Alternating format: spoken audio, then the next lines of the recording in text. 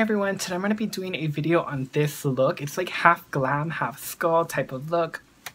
I will say I was inspired by a picture on Pinterest, so this is definitely not my idea, but I did kind of redo some things, especially on the skull side because let me just tell you, like, the process of doing the skull side was not what I expected. But I just kind of went with it, and it was one of those things that you don't know until it's actually done. Like, you don't realize how good it is until it's actually done. Because now that I'm looking at it, like, I actually really like it. But, like, throughout the process of, like, actually creating this look, like, I was just kind of like, eh uh, like I was like kind of nervous and I was like there were a couple times that you might see my facial expression that I just kind of like want to be done I just want to wipe it off because it's not coming out to what I want it to be but I'm glad I just like pushed forward and kept doing it because I'm so happy with the way it came out um but yeah in this video i'm only going to be doing the skull side just to save some time i did touch up this side this is actually a look that i did a couple videos ago it was a look that I wore in my Q&A video. I just intensified it up. I darkened the eyeshadow and the contour and then I threw on a red lip. I just felt like the red lip went better than the plum folly shade. So go ahead and watch that first because that's going to be the glam side because i knew the skull side was going to take a long time. So i didn't want to put both of them in one video and have this extremely long video so i figured break them up. So yeah so this video is only going to have a this look and then you'll see clips of what I changed from the previous video um, on the glam side. But yeah, I hope you folks enjoy this tutorial. This is going to be my first Halloween tutorial of 2015. I'm hoping to post more, but we'll see how time allows. But anyway, if you want to see how I achieve this look, then keep watching this video. Well, hello, beautiful. I'm gonna be starting my face already beat to the gods. Of course, you won't have to do this step, but I'm just showing you what I'm doing because I already filmed this tutorial, and instead of doing a whole nother video on filming glam and then skull, I figured let's just keep the glam, remove half of it, and then do the other side with the skull. So I'm gonna be taking my favorite makeup remover wipes of all time. This is by Neutrogena. It is seriously the best makeup wipes hands down drugstore high end. I love this stuff. So I'm just going to remove half my face and I'm also going to be removing my lipstick because I just felt like this color didn't really go with the look. So go watch that other video, get glammed up for half of your face, and then come back and we'll work on the skull.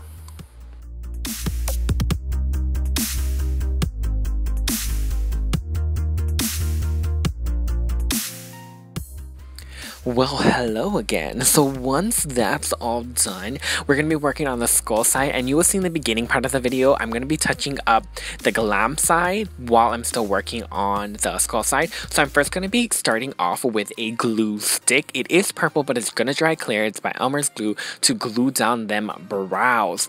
And then while that first layer of glue is drying, we're going to work on our red lips. I'm going to be taking the NYX lip liner in hot red and I'm going to be slightly slightly, slightly overdrawing my lips because I want them plump. I want them DSL though. And then I'm going to be taking NARS Velvet Matte Lip Pencil in the shade Cruella. Um, I ain't gonna lie, I got this for free in one of them Sephora birthday gifts, birthday perks, whatever. But it is amazing and I definitely want to pick up more. They're so creamy and they're so beautiful and they're so pigmented and I just said so like five times. Then we're going to do another layer of glue. Yes, another layer. We're going to probably do like three layers. Now I'm going to be taking my BH Cosmetics contouring kit. I'm going to be taking this dark, dark, dark, dark, dark brown shade. And I'm going to be taking on this angled foundation brush. Brush. I get not dark, did I? brush and really intensifying that contour and now I'm just going to wave my hands on these magic beautiful contouring shades by Anastasia Beverly Hills and again just deepening up that contour and then I'm just going to be switching back and forth between the BH Cosmetics color and the Anastasia Beverly Hills color Anastasia Beverly Hills colors and just like really contouring my face for the gods because we want to make sure it's very like a skinty because we're going to be next to a skull and a skull is very skinty. So next I'm going to be taking Champagne Pop by Becca Cosmetics and Jaclyn Hill and highlighting Thine Face. Okay, now once everything is dry, not everything, once your eyebrows is dry, um, it's time to paint our face white. I'm going to be using the NYX eyeshadow base in white, I believe.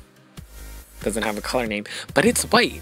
Um, you can use any white paint you have, whether it's a face paint, whether it's um, whatever white you have. I know drugstores even have um, white Halloween makeup, but I didn't have time to go get that. And I had this already, and I figured this would be perfect because it's like an eyeshadow base, so it's gonna like just lock everything in place.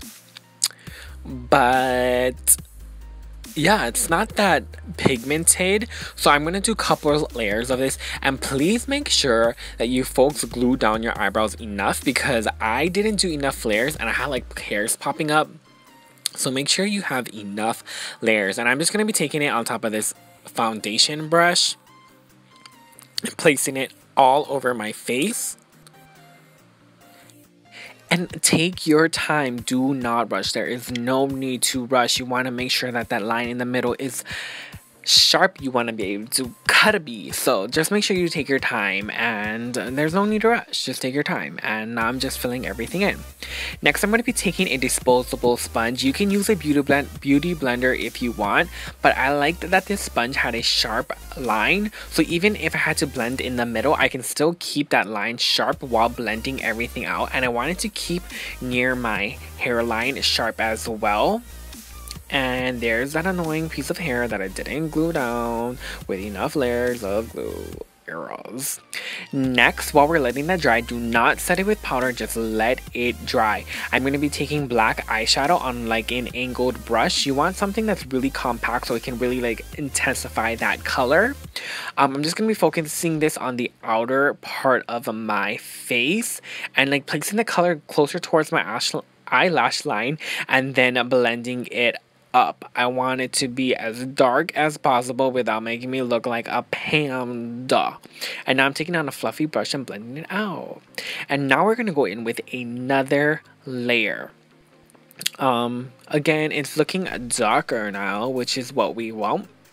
So I stopped after two layers, but you can build up the intensity or you cannot build up the intensity. So whatever you want, you can do. This look is so customizable to whatever you want. That is the beauty of makeup. You can do whatever you want because it's your face.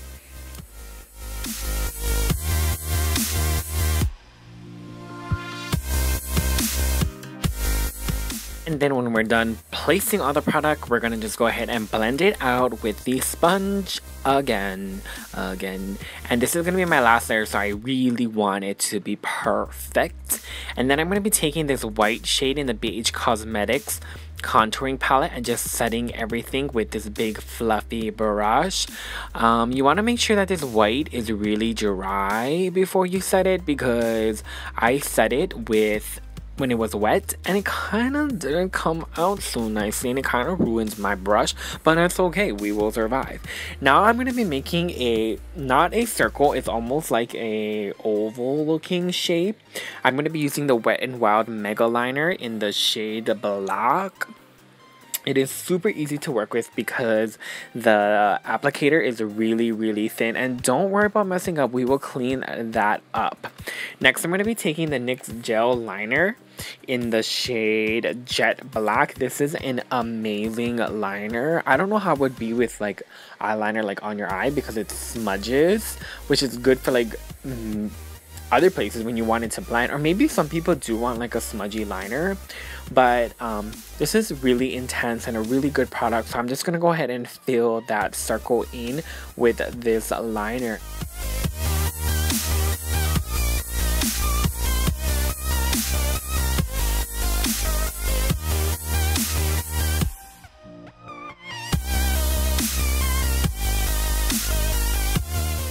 then once the eye is done, we're going to be working on the nose. I'm going to be using the same Wet n Wild Black liquid liner.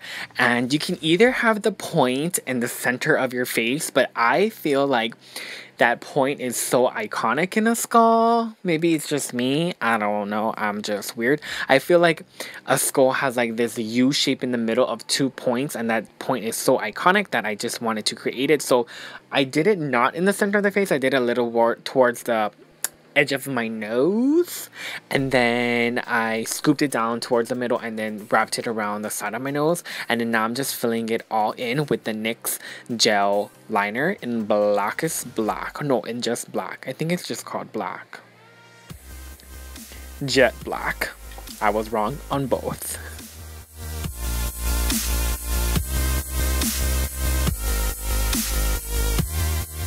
And now we're going to be working on the mouth. Um, this part I'm going to be starting off with a pencil because it's not as intense as the Wet n Wild or the NYX. I'm going to be using the Bella Pierre Ebony Bell Black can't speak. Black liner. I got this in an Ipsy bag. It is an amazing liner. And I'm just going to use this to sketch out the line for my teeth. Um, I saw in a picture that the skull had like this area on their cheek like towards their ear so i just recreated that. But i didn't recreate it like properly so it's not the cutest. So look at a picture for reference for this part. And then um and it's okay if you mess up because as you can see there's a way to clean it up. And i'm just using that um eyeshadow base from earlier to just really carve it out and make sure it's a shape that i want and then once you get the shape that you want, I'm going to go in and take the NYX gel liner and just fill it all in. And I forgot to mention for the eye part, the nose part, and this part, I don't think there was any clips of me setting it with eyeshadow. So once you lock it all in place, you have the intensity you want, you have the shape that you want, go ahead and set it. Just remember that once you set it, it's harder to adjust it. Like you can't put a gel or liquid product on powder. Well, I guess you can no, you can, but it's just easier if you just do all your layers first, fixing fix all your correcting, and then set it, and then you should be good. And then this part too, like the inner part of this fin, fish fin looking thing that I decided to create on my cheek, you want to make sure you blend. You do not want this clean look that I have on my face. And then because the Wet n Wild gel liner gel liner is that what it's called? Liquid liner? Whatever. But because that liner is has such a fine applicator i decided to use that for my teeth. And so for the front the, the first teeth like on your lips you want to make sure that the first one goes straight and then the ones towards i mean on the sides of it it curves it curves on your lip at like an angle and then goes straight up. Then once you finish your lip it just straight lines all the way down and I'm such a fool. I totally don't know what teeth looks like. So learn from my mistakes. Teeth is like straight and flat towards your the center and then curves out to form a teeth at the end. I'm an idiot and I did it the wrong way. So I curved the front of the teeth and then I made the back of the teeth straight and so it just looks like lines. So learn from my mistakes and do not do your teeth this way.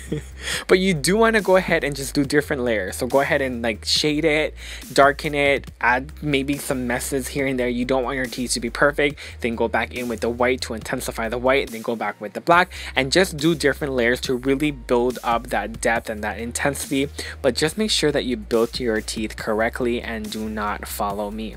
Again, another thing do not follow me by is I didn't fully wait until everything was set and dry. So as you can see here, I'm like getting super frustrated because this black is turning into gray when I'm trying to blend because it's like mixing with the white and it's like really irritating but i guess it kind of worked out in the end because i didn't want like all this black but i'm basically just adding shading and my shading's getting really big and it's supposed to be like this really thin line but it just wasn't working and this was one of the points that I kind of was irritated and that's why I wasn't even fully in frame because I was just so done with this look. I was just like I'm not gonna waste though all this time that I spent on this. I'm just gonna finish it up, take some pictures and see how it comes out and if it comes out cute we'll upload it and if it doesn't we'll just keep pictures of it. So that's why I'm not fully in frame, but I just wanted to keep this in to just let you know that you just gotta keep pushing through and you know it's one of those things that you don't realize how good it is until it's actually done. Like you just gotta keep working at it and just keep adding different elements and that's why I like the shading on my chin. Why? I don't know. Why I added the shading above my eye? I don't know. Like just go ahead and have fun with it and just do different things, see what works. Um, I felt like it worked. I was just like trying different things to try to save this look. I also did a shading above my eyebrow. I started the most intense part of the shading towards the actual object and then it feathered out into gray. And then I also did my hairline too to give me a really contoured skinty look. Like a skull. And then I'm just going to be showing you different ways on how you can dress this look. You can either just do a plain black shirt to focus on the makeup, or you can add a tie, which is really fun. Or to sauce it up even more, you can add a blazer. Super cute. But anyway, that completes the look so i hope you folks like this video. Like i said this is my first halloween video so be nice in the comment section. I'm not a theatrical makeup artist. Like this is something i kind of just have fun and play with. But if you like this video please make sure to give it a big thumbs up. Click subscribe stick around for more videos. And until next time bye